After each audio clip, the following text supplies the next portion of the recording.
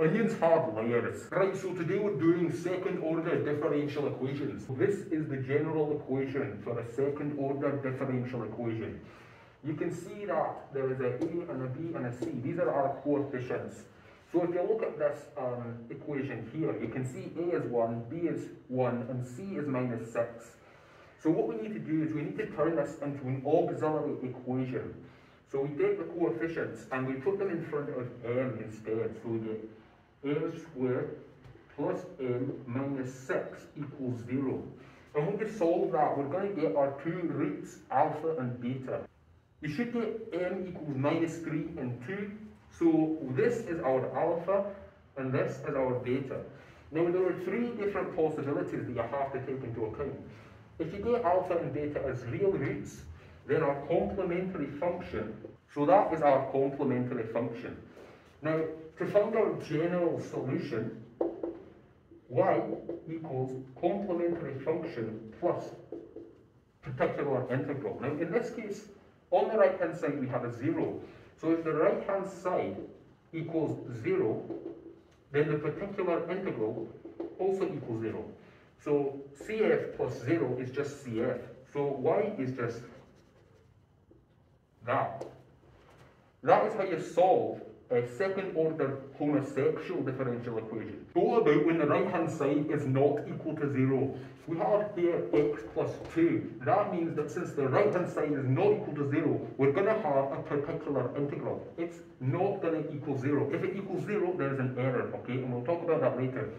So there are three possibilities with the particular integral. There is a polynomial, a trig, an exponential, and a combination of the logs, okay? In here we have a polynomial. Uh, this one is a quadratic, but this one is a linear. So all I'll need for this one is to let y equal lambda x plus mu. So now what we're going to do is we're going to differentiate. And then once we differentiate, we can substitute in dy squared by dx squared, dy by dx, and we can get um, an equation and solve. Okay, so now that we know dy by dx squared is 0, we can put in 0. We know that we've got 4 lots of lambda. And we know that we've got 5. Sorry, this is a film project. Oh, sorry. Sorry, I've, I've made a little error there. That, that's meant to be a 1. So now that we have had that, we know we can compare coefficients. So 5 lambda 1. So lambda equals 1 over 5, looks like a 6. And we know that we've got uh, 2 on that side, so we've got 4 lambda. We know that lambda is 1 fifth, so we might as well put that in now. And we've got 5 mu equals 2. Now 4 over 5, we can subtract that, and then we can multiply both, sorry, divide both sides by 5, so we get mu equals 6 over 25, and we can substitute that in to our original equation to find the particular integral. And now that we've found the particular integral, we can go ahead and find the complementary function.